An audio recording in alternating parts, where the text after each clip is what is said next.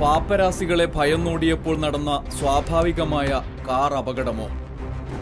അതോ ബക്കിംഹാം കൊട്ടാരത്തിനുള്ളിൽ നടന്ന ഗൂഢാലോചനയുടെ ഫലമോ?